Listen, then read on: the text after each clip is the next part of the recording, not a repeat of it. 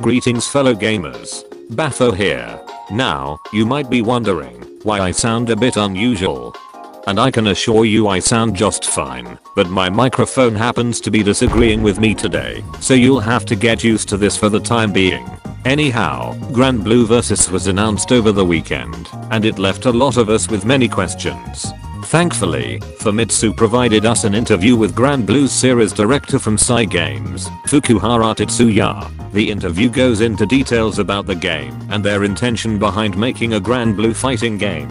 I will only highlight a few key points while adding my thoughts, but you can check out the full translated interview in the description.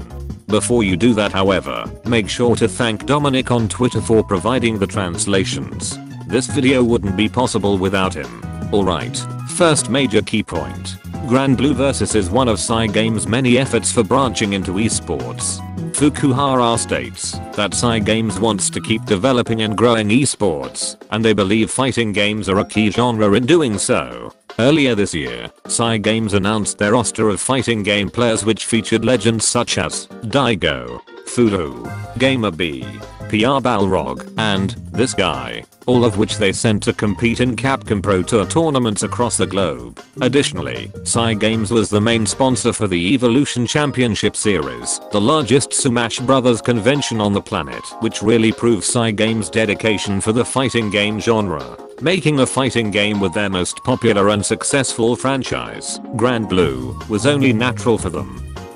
Second major key point. Granblue Versus will be a full price fully featured traditional fighting game. Yes, this game is not free to play. Fukuhara states, Granblue will include traditional fighting game modes and features such as online versus, ranked, an all new story mode and of course DLC characters, as it is the standard in fighting games nowadays. So don't get mad when that waifu of yours who made you spend too many fucking crystals than you care to admit is DLC. In regards to the current cast, the director notes that all 5 playable characters have a standard skill set, but that will change with each next reveal, as it will involve characters with more complex abilities.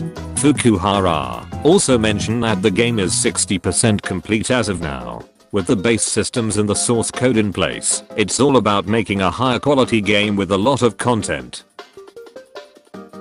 Now, for the last major key point, and probably the most important one. Versus is going to be fundamentally different than most Arc System fighters. A lot of us have noticed in the trailer that there are no double jumps or air dashes in the game, and Fukuhara reaffirms it by mentioning that they are designing the gameplay based on Street Fighter 2, the granddaddy of all fighting games. They want to make a game where anyone can easily pick up play, and have fun without getting bogged down by learning lengthy combos or having to sift through 27 different Discord servers just to find a document that may or may not tell them how to play the game properly. The developers want to accomplish this while still leaving room for depth and strategy for the veteran fighting game players. Another primary goal Cygames and Arc System seemed to have agreed upon from the start was to make the speed of the game much slower when compared to BlazBlue and Guilty Gear in order to make for a smoother spectator experience. I personally agree with this choice, as most first time viewers of Arc System games generally have zero idea as to what is happening on their screen most of the time. Fukuhara expects a lot of players who never played a console game to begin with to be interested in Granblue Versus. Will people who will look down at their controller and ask where the triangle button is. Yes, I did not make that one up. So for those people, they decided to go ahead with one button specials. Again, I personally have no problems with this from a fighting game player's standpoint, as it doesn't impact how I use a character or view an entire game, but some people choose to disagree. That is all. If you happen to enjoy this piece of high effort low quality content, consider subscribing. I intend to do more of these once we get more information on Granblue Versus. As for now, be easy, my fellow gamers.